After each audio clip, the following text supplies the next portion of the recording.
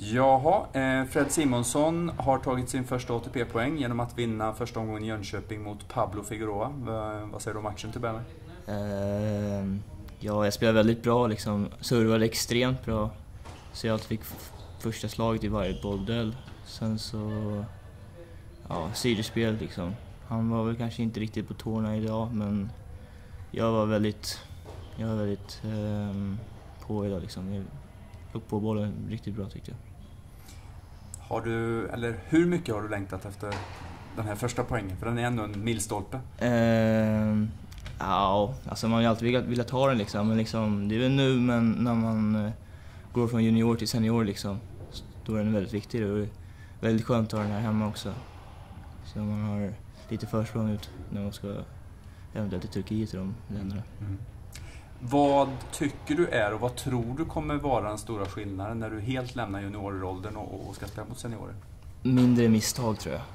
Är, man får mindre man får mindre poäng enkelt liksom, om vad jag menar. Um, på juniorsidan så kan ju, kan ju man liksom missa ett par bollar i rad. Slarva mer. Exakt, slarva mer. Sen, fast på, på seniorsidan så är det, gäller det att vara väldigt fokuserad, speciellt i, serv, i sin egna servegame så man inte blir breakad som inte gör några enkla misstag som, som jag brukar göra. Men, men det var väldigt bra den här matchen. Idag var du väldigt fokuserad, mm, rakt igenom? Idag var jag väldigt fokuserad. Väldigt fokuserad. Jag är väldigt nöjd med mig själv faktiskt. Eh, om vi tittar till de här veckorna du spelat Future Tennis här då så eh, i singel så har du inte riktigt kanske då fått, du har fått svåra lottningar och sånt. Mm. Men hur mycket betyder det att spela så pass mycket matcher och bra i dubbel också? Att vara i den här miljön och... Det är, alltså, jag är ju i dubbel är jag med till tävlingsslutet liksom. Det är jävligt viktigt faktiskt. Sen så, um, så gillar jag dubbel väldigt mycket. mycket. Använder serven väldigt mycket där, jag servar väldigt bra där. Sen volleyspelet som jag kan använda i singel också. Så liksom, det hjälper mig på vägen, det hjälper mig att hålla matchtempot uppe liksom. Eh, tidigare här i slutet av sommaren, hösten, så fick du också vara med i Frankrike med eh, det svenska Davis Cup-gänget mm. och, och sparra med Enqvist och grabbarna nere i Frankrike. Eh, säg något om den veckan. Uh, jag lär mig väldigt mycket. Speciellt att um, få lite mer, så bollen uppåt lite mer, om du förstår vad jag menar, lite mer spin. Och inte går för det ska vara så flackt hela tiden. Um, men det var väldigt bra träning hela tiden, väldigt tufft. Um, Larsson, Larsson och Tompa hjälpte mig väldigt mycket i serven som jag fick utdelning idag, som jag tänkte väldigt mycket på. Annars har du din eh, normala bas då eh, i Stockholm. Eh, hur ser eh, en vanlig vecka ut hemma om du inte har tävling? Om jag inte har tävling? Eh, jag går i skolan fortfarande.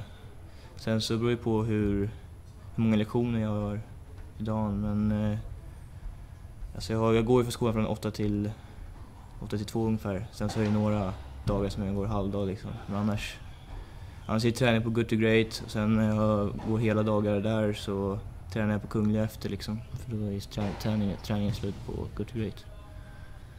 Jag tycker jag är väldigt, jag är väldigt nöjd med det jag har i Stockholm också. Mycket träning, bra, bra tränare. Har du tittat vidare vad som händer i Jönköping den här veckan?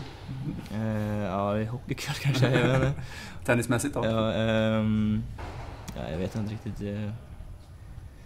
Jag möter Milos nu tror jag som eh, jag är kompis med. Han tränade på Salk också. Jag har känt honom väldigt länge. Spelade dubbel med honom första tävlingen också.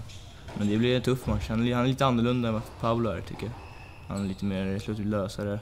Fast inte, inte, på, inte på dåligt sätt liksom, men han är lite mer, lite mer säkrare liksom. Jag tror det blir, om jag håller spelet uppe så blir det nog en bra match tror jag. Lycka till. Tack.